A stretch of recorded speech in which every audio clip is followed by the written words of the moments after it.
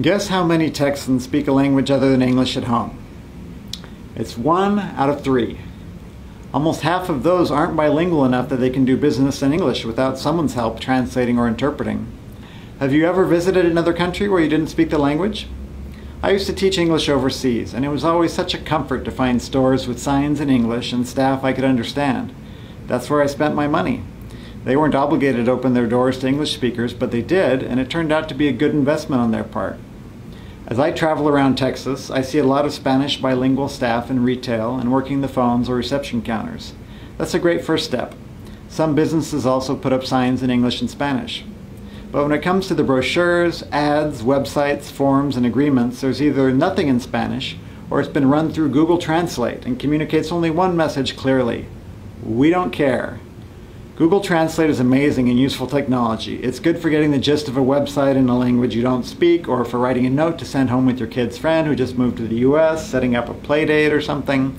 It's also handy for reading words aloud when you're trying to remember how to pronounce your high school French. But when your business materials are simply run through a free instant translation site, no one is impressed anymore. It doesn't set you apart from your competition. And sometimes it reads more like this actual description on a foreign made lamp. The product design is used international popularly is succinct and the technique that the line is easy and smooth and possesses the beautiful to look at and fine and elegant features. So if you're going with free online translation, at least please get a native speaker of that language to read and correct it. Even better, someone who has a college degree from a country where that is a dominant language.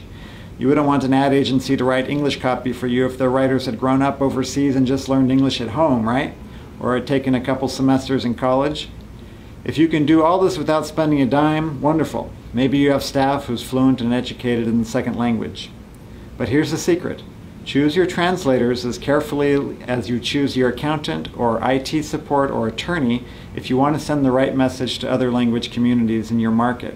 Just because a prospective client doesn't speak English doesn't mean she's uneducated or indifferent to the way your business handles her language.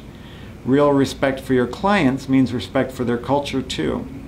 And making that respect clear from the first glance at your written materials will set you apart from your competition instantly.